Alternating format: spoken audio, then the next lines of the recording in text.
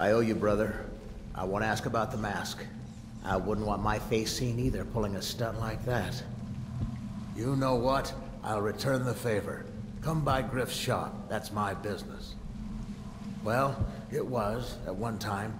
But now I'm reduced to scavenging things from here and there as the city dies. If you need anything, I wouldn't mind trading for a little money. Maybe someday the plague will blow over and everything will go back to normal. But until then, it's scavenging for me.